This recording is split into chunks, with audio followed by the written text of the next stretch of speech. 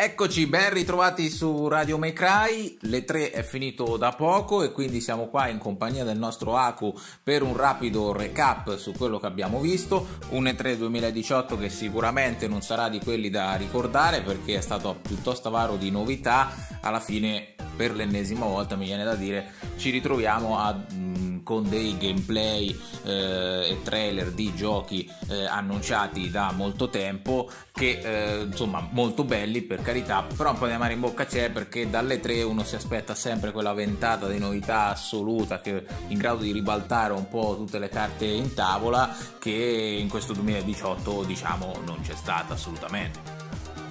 ma eh, va detta una cosa, contrariamente a quello che si crede, oramai si è allungato tantissimo il tempo di sviluppo dei giochi, si parla di anni, un gioco viene annunciato eh, diciamo in maniera anche un po' fittizia, viene un po' annunciato così nel 2016, nel 2017 se ne parla ancora, nel 2018 finalmente esce, cioè i giochi si sono allungati tantissimo, quindi conseguentemente ciò anche le 3 è diventato uno spettacolo un po' particolare dove i giochi non vengono quasi più annunciati per, per, anni utili, se vogliamo, o per mesi utili, ma vengono posticipati addirittura con late 2018, in questo caso late 2019, terzo quarto del 2019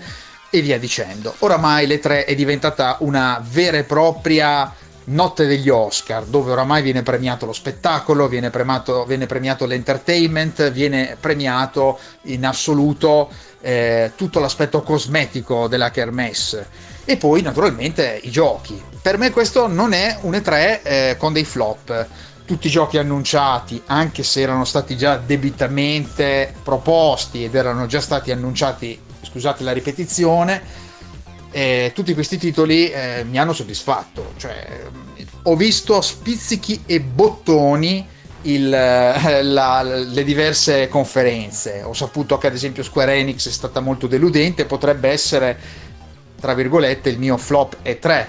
Eh, la guarderò e poi prossimamente magari farò un altro messaggio audio. E, ehm, mentre invece mi è piaciuta molto quella di Microsoft, che ci crede ancora che ha veramente, secondo me, esagerato dal punto di vista anche del contenutistico. Hanno veramente messo tanta carne al fuoco, hanno parlato di nuovi studi di acquisizione. Eh, pardon, nuovi studi acquisiti, quindi comprati come Ninja Theory, che comunque se tanto mi dà tanto i Ninja Theory faranno sicuramente un gran gioco si sono un po' rimangiati le mani rispetto al passato che avevano naturalmente chiuso quasi i rapporti, avevano chiuso lo studio di Fable, Lionhead Studio, avevano chiuso la divisione giapponese, insomma vogliono combattere, vogliono combattere con poco, perché combattono con poco secondo me, non riescono veramente a, ad affrontare una Sony che nella conferenza della giornata successiva si è limitata davvero in un palco molto dimesso a strimpellare quattro corde, eh, no, a dire la verità, a strimpellare quattro note che conoscono tutti bene i giocatori della Sony, ovvero quelle di The Last of Us, e genialmente hanno utilizzato l'ambientazione del gioco nella loro presentazione reveal gameplay, l'hanno utilizzata anche nella realtà, creando strana questo strano paradosso videoludico temporale. Carina l'idea che praticamente all'inizio del trailer Ellie balla con la sua amica in una specie di festa che assomiglia tantissimo al setting organizzato dalla Sony sul palco E3. È bastato quello, è bastato que- quell'ambientazione per poi risbatterci di nuovo nel grosso palco, farci vedere Ghost of Tsushima, su cui riponevo tantissima fiducia e si è dimostrato quello che era, cioè un gioco incredibile forse più bello di tutti. Tra l'altro ho notato che sono, c'è una sorta di paradosso spazio videoludico in questo prossimo 2019. Abbiamo ben tre giochi, ovvero ho due, Sekiro e Ghost of Tsushima, che si basano tutti sul Giappone feudale. Chissà quale di questi tre riuscirà a prendersi il pubblico, quale di questi tre giochi riuscirà a, ehm, a convincere il... Ehm, naturalmente il pubblico che cerca di ingraziarsi. Tsushima è ambientato naturalmente con un realismo eh, incredibile, quindi è basato su eventi storici e reali. Sekiro è ambientato, diciamo, nel periodo Sengoku, quindi c'è di tutto dentro, ma ci sono anche yokai, mostri, e Nioh 2 è la prosecuzione del primo Nioh, quindi mi immagino ancora più mostri, più yokai, kami, divinità di ogni tipo e assortite, anche se oggi ho letto la notizia che non ci sarà William, quindi mistero. Eh, detto ciò, altre conferenze interessanti sono state anche quella di Ubisoft, ehm, quella di Bethesda, dove finalmente hanno annunciato il famoso Elder Scroll. Io globalmente, siccome tanto ci sono coverage in tutta la rete, direi di tagliare la testa al toro e dire che anche queste tre ce lo siamo fatti, è stato divertente. Sì, ci sono stati giochi incredibili, direi di sì, perché eh, mi vengono in mente per dire quelli del palco, ma anche Assassin's Creed Odyssey, ma anche eh, Rage 2, anche se Bethesda ha un po' sbagliato il timing, cioè ha voluto presentare eh, dieci giorni prima Rage 2 e magari era meglio se lo teneva per la conferenza e magari presentava il DLC che tra l'altro hanno presentato due DLC, uno di Prey, Moon Crash e l'altro di eh, Castle Wolfenstein Young Blood se non ricordo male. Quindi era meglio se tenevano quei due DLC eh, diciamo eh, per il pre E3 e avrebbero ippato non poco e tenevano magari Rage e Fallout 66, eh, 76, 76, 76 credo, sì, eh, se li avessero tenuti per la conferenza E3, perché erano due grosse novità, vabbè, ma questo chi sono io per dire dove hanno sbagliato? Assolutamente nessuno. Diciamo che ho apprezzato in generale tutta la conferenza di Bethesda, anche se è stata un po' corporativa, della serie siamo sempre i numeri uno, siamo sempre i numeri uno, grande finale anche con Elder Scroll 6 se non ricordo male. E, e che dire sul palco Microsoft ad esempio mi, mi, è venuto in mente ovviamente Cyberpunk 2077 che per me è una roba esagerata incredibile. Se pensare che tutto quello è in eh, real time reale gameplay e reale grafica se vogliamo anche è impressionante è impressionante e le notizie che continuano a scorrere ogni giorno, incessantemente, lo fanno sempre più sembrare una roba megalitica, un gioco incredibile dove addirittura i giornalisti non ne hanno potuto parlare, ma ne hanno potuto scrivere e hanno potuto avere accesso, diciamo, a, a poter formulare delle opinioni, però non hanno potuto dire esattamente il gioco come è fatto, perché le notizie vengono tutte quante eh, rilasciate solo dai CD Projekt Red. A mio avviso, bene, perché diciamo che quando vanno in mano ai giornalisti le notizie diventano un po' mistificate in tante occasioni. Comunque nel complesso un bellissimo E3, anche Spider-Man, ma non lo so, ma tantissimi giochi che hanno presentato, anche il nuovo di Zombie Nation, eh, World Day Z credo, se non ricordo male. Hanno presentato un sacco di giochi, un sacco di titoli, si è un po' alzata l'asticella dello sviluppo, nel senso dei, dei tempi, l'ho già detto inizio messaggio audio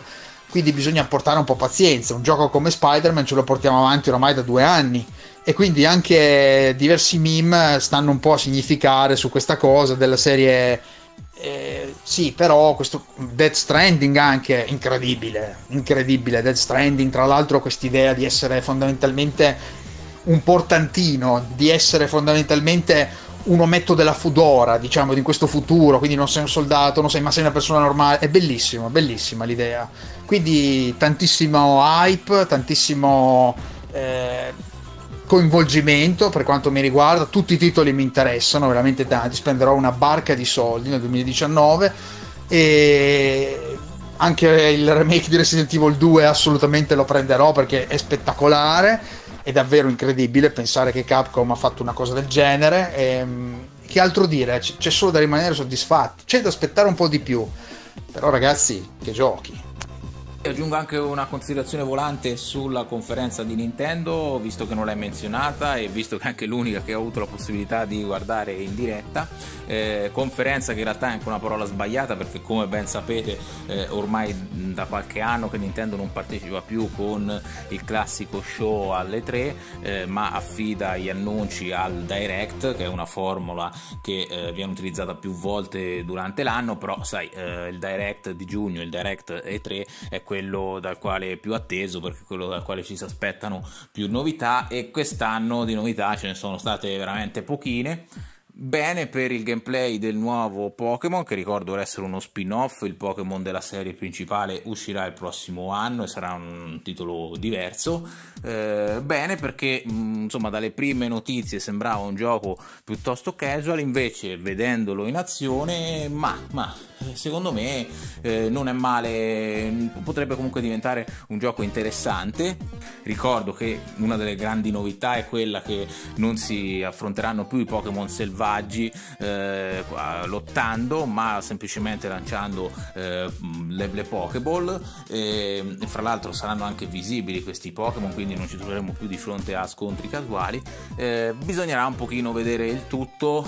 sembra che comunque la difficoltà sia ancora eh, di più tarata verso il basso questo mi preoccupa un po' però l'idea sinceramente di non andare in combattimento con i Pokémon selvaggi e poterli vedere non mi dispiace non mi dispiace l'impostazione tecnica resta quella eh, un po' da 3DS sicuramente migliorata da un punto di vista estetico comunque resta sempre un po' quella un po' la mare in bocca perché insomma tutti appassionati di Pokémon si aspettano da tempo lo sbarco di questo brand su una console potente come può essere Switch ehm, con un open world gigantesco e tutto quanto però quello sono desideri che relegheremo per il prossimo ufficiale capitolo che uscirà eh, nel 2019 anche in questo caso parliamo di annunci di giochi non visti che poi rivedremo fra 1-2 anni. Eh, molto bene per Demon X Machina, gioco con i robottoni eh, che non mi aspettavo, un gioco action shooter con dei robottoni che sicuramente sembra molto interessante,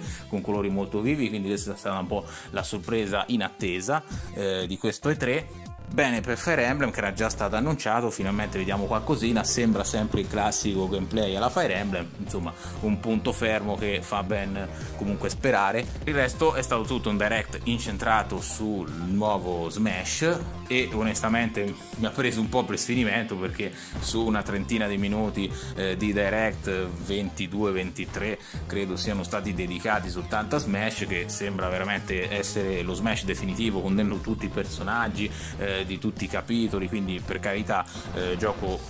che sembra veramente confezionato alla perfezione, però eh, a una certa insomma mm, mi aspettavo qualcosina in più che non c'è stato. Eh, quindi anche in questo caso poche novità, un po' da mare in bocca, non sappiamo ancora non abbiamo visto niente su Bayonetta 3, non abbiamo visto niente eh, del nuovo Metroid Prime 4, due titoli annunciati lì con il loghetto e stop. Eh, e non sappiamo neanche ancora che cosa stanno facendo i Reto Studios eh, studio di eh, lustro di Nintendo eh, americano. Eh, quindi anche lì non sappiamo cosa stanno facendo. Sicuramente fa ben sperare per i direct futuri eh, però insomma questo direct 3 poca roba ecco Ecco, se proprio uno vuole tirare un, uh, un, dato da questo direct è che non è stato mostrato niente del 3DS, eh, quindi chissà se eh, veramente hanno deciso di mandare in pensione definitivamente eh, questa console. Personalmente non credo che sarà così, penso che ancora un pochino eh, potrà andare avanti, soprattutto in Giappone e quindi mi aspetto che in futuro anche qualche altro piccolo annuncio su questa console che comunque continua in qualche modo a restare in vita, continua ad avere una sua fanbase, ribadisco, soprattutto eh, in Giappone. Che altro dire? Eh, personalmente è stato un E3 sì, che ha mostrato dei bei giochi eh, ma eh, mi aspetto come sempre delle novità perché ho un po' quella visione delle tre eh, del passato che rivoltava un po' tutto come un calzino quindi non sono particolarmente soddisfatto da queste tre anche se condivido con Aku che eh, i giochi mostrati sono veramente molto allettanti e il 2019 si presenta come un anno nel quale bisognerà andare a accendere dei mutui in banca perché eh, di giochi da comprare ce ne sono veramente tanti Finisce qua questo rapido recap sulle 3 2018. Eh, mi raccomando, commentate, fateci sapere se siete rimasti delusi o soddisfatti da queste tre, quali sono i giochi che più vi hanno convinto e quelli che meno eh, vi hanno convinto e soprattutto continuate a eh, seguirci su Facebook, Twitter, eh, Instagram, YouTube, Mixcloud dove potete ascoltare eh, tutte eh, no- le nostre puntate di radio audio e soprattutto sul blog www.gamermecrai.com www.blogspot.it. Un saluto da Capitan Brobrega, ciao Aku, alla prossima ragazzi!